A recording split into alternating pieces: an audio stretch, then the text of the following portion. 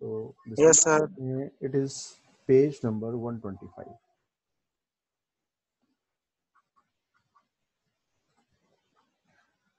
तो इसमें बताया गया है हमें रैंक ऑफ़ द मैट्रिक्स क्या होता है। तो जरा डेफिनेशन पढ़ लें। कहता let A be the non zero matrix A क्या है? एक नॉन ज़ीरो मैट्रिक्स है ठीक है if R is the number of non zero rows when it is reduced to reduced echelon form then r is called row rank of the matrix तो जब भी आपने रैंक फाइंड करना है तो यहाँ रैंक से मुराद होगा रो रैंक तो रो रैंक क्या होता है? ये होता है number of non zero rows लेकिन किसमें? इन reduced echelon form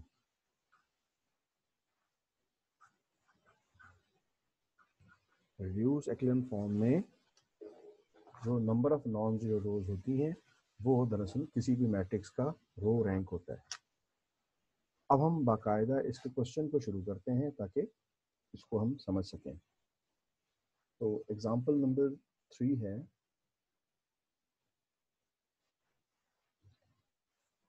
इसमें कहा गया फाइंड रैंक ऑफ़ मैट्रिक्स जी। तो हम स्टार्ट लेते हैं कि हमने रैंक ऑफ़ मैट्रिक्स कैसे निकालना है। तो फ़र्स्ट ऑफ़ ऑल हम यहाँ पर मैट्रिक्स लिख लेते हैं, फिर हम उसके सोल्यूशन की तरफ़ बढ़ते हैं।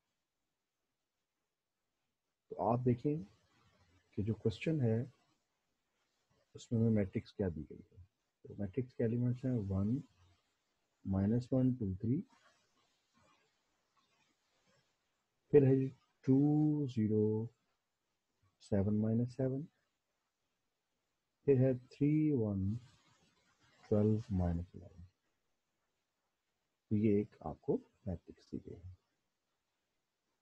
अब आपने इसे रिड्यूस एक्लम फॉर्म में कन्वर्ट करना है और रैंक ढूंढना है।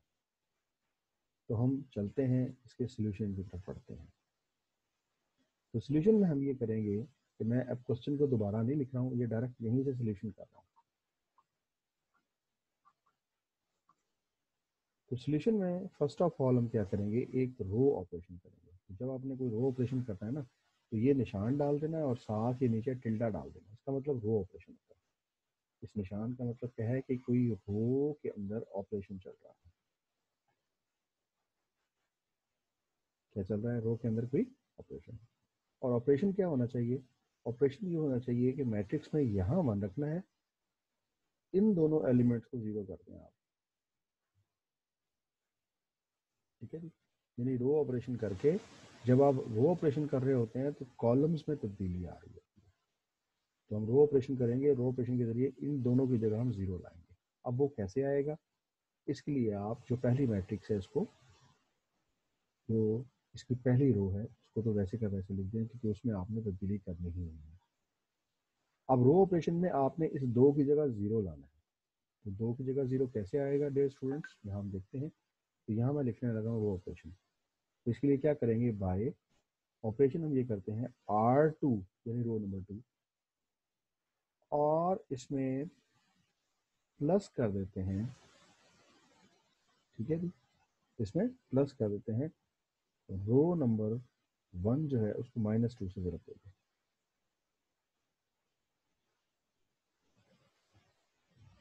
और इसके नतीजे में जो रो आएगी, इसका फ़र्ज़ करने नाम हम रख देते हैं आर टू डैश नाम भी नाम रखें तो फ़र्क को नहीं पड़ता। नाम रख दें तो इससे पता लग जाता है कि हमारे पास ये एक नई रो आ गई। तो अब ये ज़रा देखें कि हम ऑपरेशन कैसे कर रहे हैं। तो क्वेश्चन में हमें बताया गया है कि रो में ऑपरेशन क्या करना है। अब आप उस रो के एलिमेंट्स लिख लें। रफ में हम इसके एलिमेंट्स को यहाँ लिख लेते हैं। ज़रा देखें। पहला रो का जो एलिमेंट है वो है टू फिर कुछ फासले पर हम लिखते हैं दूसरा एलिमेंट। तो देखें डियर स्टूडेंट दूसरा एलिमेंट क्या है? ज़ीरो। फिर है सेवन और फिर आखिर में है माइनस सेवन। अब ऑपरेशन क्या है? माइनस दो से जरब देना है। आपने रो नंबर वन को और इसमें ऐड करना है। यहाँ आपने ऐड कर देना है किसको माइनस दो से जरब देंगे अब देखें, पहला एलिमेंट है यहाँ पर क्या? वन। जब इसको माइनस दो से जरब देंगे तो ये बनेगा माइनस टू। दूसरा एलिमेंट क्या है? फिर आप देख रहे हैं माइनस वन है। इसको जब आप माइनस से मल्टीप्लाई करेंगे तो माइनस टू को माइनस वन से जरब दिया तो ये प्लस वन प्लस टू हो जाएगा। टू वन टू और माइनस माइनस प्लस हो गया।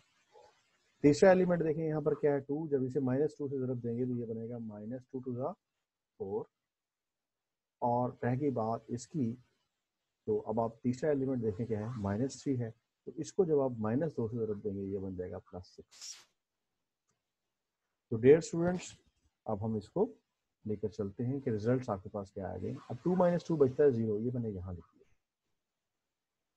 फिर आपके पास ज़ीरो प्लस टू है तो ये टू बन जाएगा। नेक्स्ट क्या है जी?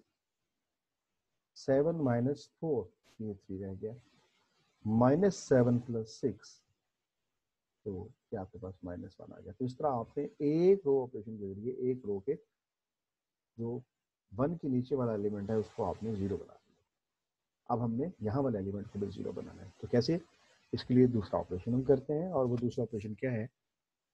अब आप ऐसा करें, बाय दरमियान में एंड डाल दें, इसका मतलब ये है कि दूसरा ऑपरेशन है। अब रो नंबर थ्री के बारे में बात हो रही है, इसको ज़ीरो करना है तो रो नंबर थ्री में यहाँ एलिमेंट है तीन। ये ज़ीरो कब बनेगा? जब आप पहले वाली रो को तीन से जरब देंगे, क्योंकि यहाँ पर है एक इसको आप तीन से जरब देंगे थ्री वन जब थ्री बनेगा थ्री माइनस थ्री करेंगे तो आंसर ज़ीरो होगा। तो इसका मतलब आपने अब आप माइनस तीन से जरब देना है रो नंबर वन को और इसमें प्लस कर दें। अब रो नंबर तीन को लिखते हैं। इसका पहले एलिमेंट है तीन, दूसरा है एक, फिर है बारह, फिर है माइनस ग्यारह। अब हमने क्या करना है? तीन से जरब देते जाना है। ठीक है? माइनस तीन से। तो जब पहले एलिमेंट को, इसको माइनस तीन से ज़रूरत दूँगा तो ये आ जाएगा माइनस थ्री जब इसको माइनस थ्री से मल्टीप्लाई करेंगे तो ये आ जाएगा प्लस थ्री। जब इसको माइनस थ्री से मल्टीप्लाई करेंगे, ये आ जाएगा माइनस सिक्स। जब इसको आप माइनस थ्री से मल्टीप्लाई करेंगे तो बच्चों, ये क्या आ जाएगा प्लस नाइन। तो इस तरह से रिजल्ट्स क्या आए? Three minus three zero, okay. Next element क्या आ गया जी? थ्री प्लस वन ये फोर हो जाएगा।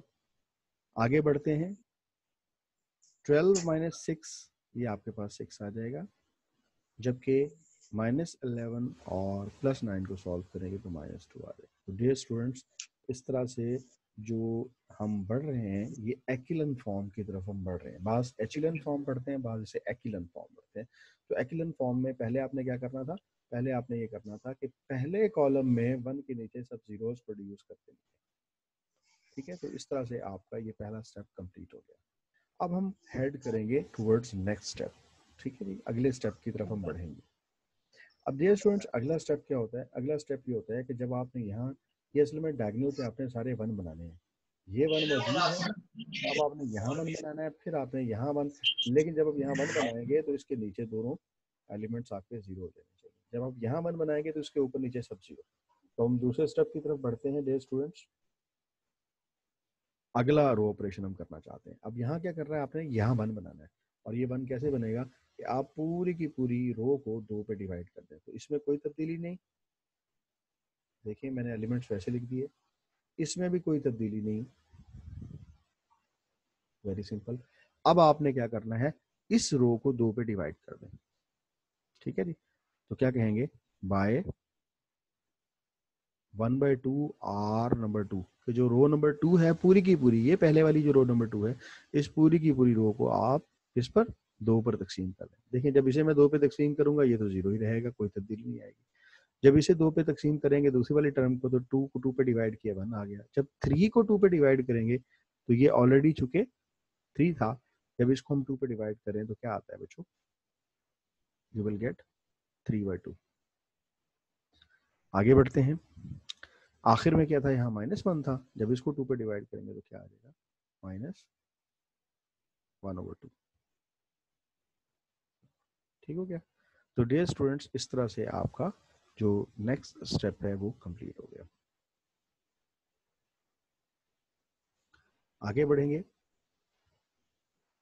हम क्वेश्चन के नेक्स्ट हिस्से की तरफ़। कि अब हमारा अगला टारगेट क्या है?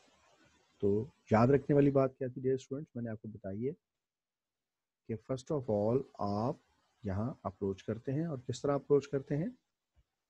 कि आपने यहाँ वन जनरेट कर लिया और नीचे ज़ीरो जनरेट कर लिया। ये देखिए। अब आपने इस वन को रखना है और बाकी सबको इन दोनों को ज़ीरो कर देना है। अब हम कुछ ऐसे स्टेप्स को फॉलो करेंगे कि बाकी ऊपर और नीचे वाली टर्म जो सेकंड डायगोनल की इसको ज़ीरो कर देंगे। तो अभी भी हमें कोई रो ऑपरेशन करना पड़ेगा। तो इसके लिए यहाँ आ जाएगा वन ज़ीरो ज़ीरो। यहाँ पर आ गया वन। अब इसका मतलब इसमें कोई तब्दीली नहीं लानी। ये तो वन पहले से मौजूद है तो मैं इसको भी वैसे लिख देता हूँ, इसको भी। तो तब्दीली कौन सी होगी? तब्दीली होगी कॉलम रो नंबर वन में और रो नंबर थ्री में। और जो तब्दीली होगी, वो हम सॉल्व करते जाएँगे और बारी बारी यहाँ लिखते जाएँगे। ठीक है अब वो देखें, तब्दीली हमने क्या लानी है? तब्दीली हमने ये लानी है कि हमने इस फोर की जगह ज़ीरो लाना है और न सिर्फ़ इस फोर की जगह ज़ीरो लाना है, बल्कि इस वन की जगह ज़ीरो लाना है। ठीक है जी? तो इसमें जो स्टेप हम फॉलो कर सकते हैं, उन स्टेप्स के अकॉर्डिंगली देखते हैं कि आगे हम कैसे बढ़ सकते हैं। तो वेरी सिंपल पहला स्टेप क्या करते हैं कि जो रो नंबर वन है, उसमें ज़ीरो कैसे लाना है? और इसी तरह जो रो नंबर फोर है, उसमें या रो नंबर थ्री है, उसमें आपने ज़ीरो कैसे लेना है? तो अगर मैं दोनों स्टेप्स यहाँ एक ही स्टेप में कर दूँ तो ज़रा उसको देखेंगे आप गौर से कि मैं क्या कर रहा हूँ। तो मैं एक अमल ये कर रहा हूँ कि रो नंबर वन में वन से मल्टीप्लाई करके रो नंबर टू को ऐड कर रहा हूँ। तो देखिए रो नंबर वन में क्या है? बेटा यहाँ वन है। वन में ज़ीरो ऐड भी कर दें। देखिए ना, यहाँ पहले है वन ओके फिर है माइनस वन फिर है टू, फिर माइनस थ्री ओके अब आपने क्या करना है? ऐड करना है वन से मल्टीप्लाई करके रो नंबर टू को। रो नंबर टू में क्या है? रो नंबर टू में ये एलिमेंट्स है जनाब। तो इसमें ऐड कर दिया आपने क्या? ज़ीरो इसमें ऐड कर दिया आपने वन इसमें ऐड कर दिया आपने थ्री बाई टू और इसमें ऐड कर दिया माइनस वन बाई टू ठीक है? यानी वही की वही जो रकमें हैं, ये रो नंबर वन में ऐड हो जाएँगे। ऐड होने के बाद देखिए रिज़ल्ट क्या आता है वन में ज़ीरो ऐड किया वन ये देखिए मैंने यहाँ पहले ही वन एज इट इज़ लिखा। वन माइनस वन, इन दोनों को अगर आप ऐड करेंगे you will get zero okay यहाँ पर टू और थ्री बाई टू का आप एलसीएम लें तो एलसीएम क्या आएगा? इन दोनों को सॉल्व करें ना। तो एलसीएम लेने पर two two two four plus three you will get seven over two तो यहाँ आ जाएगा सात बटा दो। आगे बढ़ते हैं कि अगली टर्म आपके पास क्या आती है? इसको सॉल्व करें, ये तीन और आधा है। ये माइनस का तीन और ये माइनस का हाफ़ ये दोनों मिलके कितना हो जाएगा? साढ़े तीन साढ़े तीन को लिखते हैं माइनस सेवन बाई टू। आप चाहें तो इसको एल्सियम लेके भी हल कर सकते हैं। ठीक है जी? आगे चलते हैं अब आपने ये फोर है, इसको ज़ीरो बनाना है। ये कब ज़ीरो बनेगा? आपको जो होता है कि जब इसे आप चार से मल्टीप्लाई करें, चार में से चार माइनस करेंगे तो ज़ीरो हो जाएगा। ये मैं ऑपरेशन यहाँ लिख देता हूँ। बाय। क्या करना पड़ेगा? रो नंबर जो है, थ्री, उसमें जमा कर दें माइनस चार से मल्टीप्लाई करके रो नंबर टू को। तो ये देखिए मैं थोड़ा सा इसमें रफ में आपको दिखाता हूँ कि ये मैं क्या कर रहा हूँ। रो नंबर टू में जो एलिमेंट है वो क्या है आपके पास? ज़ीरो है फोर है सिक्स है और माइनस टू है। अब आपने प्लस करना है माइनस चार से ज़रब देंगे रो नंबर टू को। अब रो नंबर टू का पहला एलिमेंट क्या है? ज़ीरो इसको माइनस चार से ज़रब देंगे तो आंसर क्या आ जाएगा? ज़ीरो वन को आप माइनस चार से ज़रब देंगे, जवाब आएगा माइनस चार। थ्री बाई टू को आप माइनस चार से ज़रब देंगे। ये देखिए ना, थ्री बाई टू है, इसको अगर आप माइनस चार से ज़रब दें तो ये माइनस हो जाएगा। ये टू से टू कैंसिल हो जाएगा। इसी तरह आगे इसी तरह आगे चलते हैं। नेक्स्ट टर्म क्या आती है जनाब? टू है तो आपने क्या करना है? चार से ज़रूरत देंगे, माइनस वन बाई टू को। माइनस वन बाई टू को माइनस फोर से ज़रूरत देंगे तो minus one by two into four हो जाएगा। तो ये तो आप देखें डेयर स्टूडेंट्स ये ज़ीरो बच गया। ये भी ज़ीरो रह गया। ये दोनों कट गए three two six six minus six में ज़ीरो होता है। ये माइनस टू प्लस टू ये भी ज़ीरो क्या हुआ? आपकी जनाब पूरी की पूरी एक रो ज़ीरो हो गई। तो जब हम इसे रिड्यूस एक्लन फॉर्म में लेके जा रहे हैं तो रिड्यूस एक्लन फॉर्म में क्या है? यहाँ वन हो तो इसके ऊपर नीचे ज़ीरो नहीं चाहिए। इसके नीचे तमाम एलिमेंट ज़ीरो यहाँ वन है तो इससे नीचे भी ज़ीरो और ऊपर भी एलिमेंट्स जो है वो ज़ीरो फिर हमने इसको वन बनाना था। लेकिन इस, इससे पहले कि हम इसको वन बनाते, ये पूरी की पूरी जो तीसरी रो है वो ज़ीरो हो गई। ठीक है डेट स्टूडेंट्स आपके देख रहे हैं कि पूरी की पूरी रो ही जनाब ज़ीरो हो गई। तो अगर पूरी की पूरी एक रो ज़ीरो हो जाए तो इसका मतलब अब आपने देखना है कि इसमें नॉन ज़ीरो रोज कितनी है। ठीक है? अब आपने ढूंढनी है number of non zero rows तो डेयर स्टूडेंट्स इसमें नॉन ज़ीरो रोज की जो तादाद है, वो यहाँ पर आप क्या बताएँगे? ये पूरी की पूरी ज़ीरो है और ये दो ऐसी रोज हैं जो ज़ीरो नहीं है। ये वाली रो भी ज़ीरो नहीं है सारी, ये भी सारी ज़ीरो नहीं है। यानी इनका एक एक एलिमेंट तो ज़ीरो है, लेकिन सारी की सारी। तो नॉन ज़ीरो रोज की तादाद है, वो आपके पास कितनी बनी? वो बनी दो। तो लिहाजा यही होगा रैंक ऑफ़ द मैट्रिक्स तो इस तरह कहेंगे रैंक ऑफ़ मैट्रिक्स या इसे हम रैंक ऑफ़ मैट्रिक्स भी कहते हैं, और भी मैंने एक नाम और भी बताया था, इसका एक और नाम भी होता है, वो होता है रो रैंक क्योंकि हमने रोज की मदद से इसके रैंक को निकाला ना, इसको रो रैंक भी कहा जाता है। तो रो रैंक इसका क्या आ जाएगा ठीक है? इन दोनों में से एक वर्ड यूज़ करेंगे। या रैंक ऑफ़ द मैट्रिक्स या रो रैंक तो दो इसका रो रैंक आएगा। ठीक है? तो ये इसकी कहलाती है कि आपने रिड्यूस एक्लन फॉर्म में कन्वर्ट कैसे करना है और उसको सॉल्व कैसे करना है? बहुत आसान है, बहुत सादा है। अब हम बढ़ते हैं आगे एक्सरसाइज की तरफ़। तो डियर स्टूडेंट्स एक्सरसाइज नंबर है 3.4 तो 3.4 में उसमें क्वेश्चन नंबर सिक्स है, ये आपके क्लास बुक में। तो सिक्स में ये कहता है if A is equal to sir ये रैंक वाले क्वेश्चन में थोड़ा सा कंफ्यूजन है। जी जी बताएँ बोले सर इसकी मल्टीप्लिकेशन और डिवीज़न जो आपने किया इसमें थोड़े से कंफ्यूज हो रहे हैं। सर ये कैसे किया आपने? जी जी कहाँ से मल्टीप्लाई करने में मसला आ रहा है।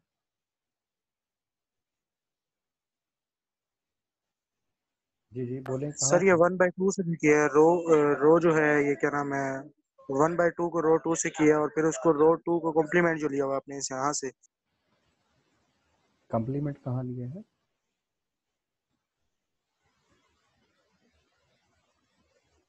जी जी बोलें कम्प्लीमेंट कहाँ लिया हुआ है? सर ये स्टेप नंबर थ्री में जो आपने किया हुआ है इधर से बात कर रहा हूँ।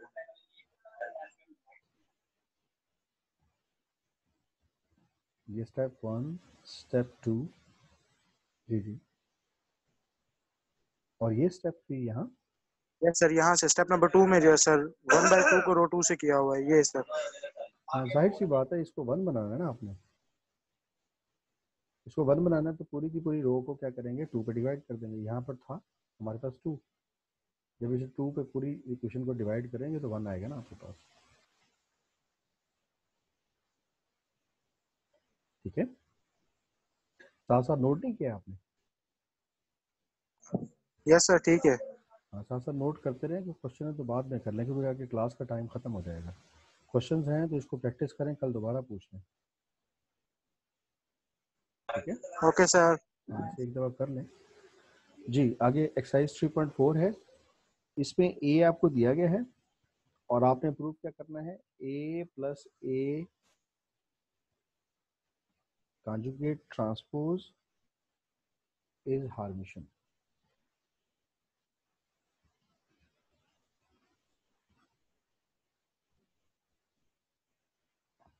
ठीक है अब वो कहता है, प्रूव ये करना है कि ये जो मैट्रिक्स दी गई है, ये हार्मिशन है।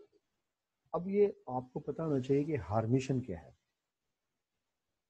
देखिए, एक डेफिनेशन आपने ये पढ़ी थी कि अगर किसी मैट्रिक्स का ट्रांसपोज लिया जाए और ए ही जवाब में आ जाए तो ए के बारे में क्या कहा जाता है? किस किस्म की मैट्रिक्स होती है? शाबाश। बताएँ शेयर करें। अगर किसी मैट्रिक्स का ट्रांसपोज लिया जाए और वही मैट्रिक्स जवाब में आ जाए तो इस मैट्रिक्स को क्या कहते हैं?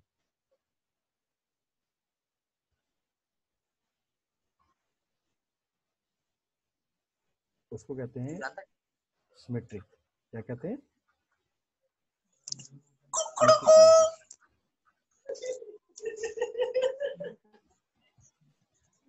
राइट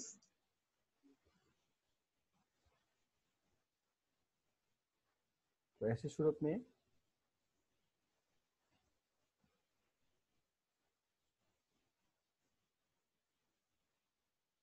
ठीक है जी, दो मैट्रिक्स आपके पास अवेलेबल है।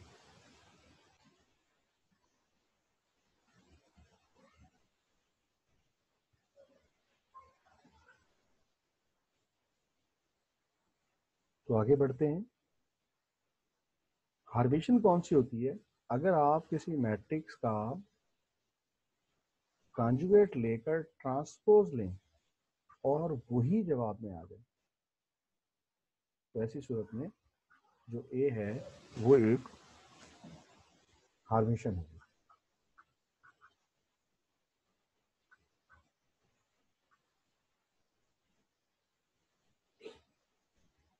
ठीक तो हार्मेशन मैट्रिक्स की ये कुछ निशानियाँ हैं। तो हम आगे बढ़ते हैं। तो A plus A conjugate transpose को हम हल करते हैं। इसका मतलब यह है कि जो भी मैट्रिक्स है, उसका पहले कॉन्जुगेट लेना पड़ेगा, फिर ट्रांसपोज अगर लें और वही मैट्रिक्स जवाब में आ जाए तो वो हार्मेशन होगी। तो लेट करते हैं। इस मैट्रिक्स का कोई नाम पी रख देते हैं। पहले हम इसको हल करते हैं। A plus A conjugate transpose तो ये पहले बनाते हैं। ए का मतलब ये मैट्रिक्स एज इट इज़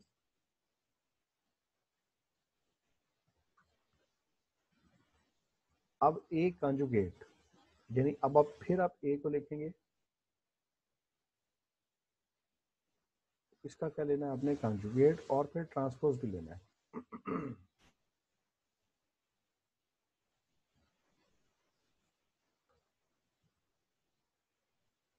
यहाँ, जब हम कॉन्जुगेट लेते हैं तो कॉन्जुगेट का मतलब ये हुआ कि यहाँ पर आयोटा की जगह minus iota one plus iota की जगह वन माइनस आयोटा, ये वन और ये हो जाएगा प्लस आयोटा। तो इसका मतलब ये हुआ कि यहाँ पर आपने किया ये कि जब किसी का कंजुगेट लेते हैं तो जहाँ जहाँ आपको आयोटा वाली टर्म नज़र आएगी, आप आयोटा का साइन चेंज कर दें आयोटा है तो इसकी जगह माइनस आयोटा। यहाँ ऊपर प्लस आयोटा था तो इसकी जगह माइनस आयोटा आ गया। ये वन ऐसे एज इट इज़ कोई तब्दीली नहीं, क्योंकि इसमें आयोटा है ही नहीं। जहाँ माइनस आयोटा उसकी जगह प्लस आयोटा अब आप टेकअप करें इसका ट्रांसपोज तो iota one plus iota one minus iota.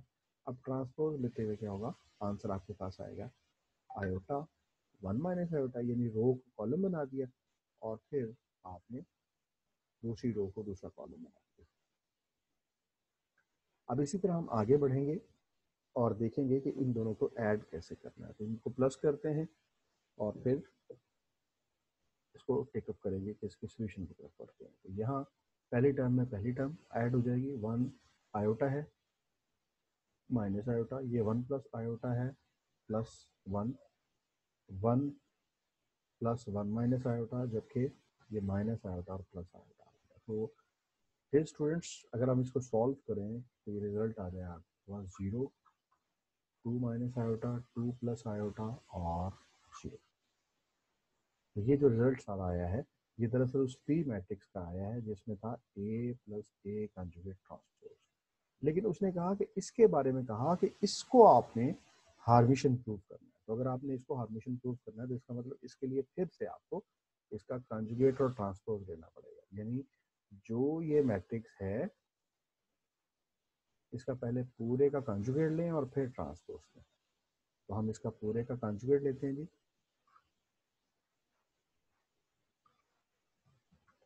अगर हम इसका कंजुगेट लें और फिर ट्रांसपोज तो देखें क्या होगा। अगर हम इनके कंजुगेट को टेकअप करें तो you will get zero two minus iota ये आ जाएगा टू प्लस आयोटा और ये ज़ीरो अब इसका हम ट्रांसपोज देते हैं। तो डे स्टूडेंट्स अगर आप इसका ट्रांसपोज लें तो क्या आएगा? Zero two minus iota two plus iota और तो आप ये देख रहे हैं कि इसी क्वेश्चन से तो हमने स्टार्ट किया था। जो पहला क्वेश्चन था, वो था zero two plus iota two minus iota zero अब जो रिज़ल्ट है, ये भी हमारे पास यही आ गया। इसका मतलब ये हुआ कि A plus A conjugate transpose का फिर से कॉन्जुगेट लेकर जब ट्रांसपोज दिया जाए तो वो A plus A conjugate transpose आता है। तो सो क्या कहेंगे? So A plus A conjugate transpose is what is Harvishan.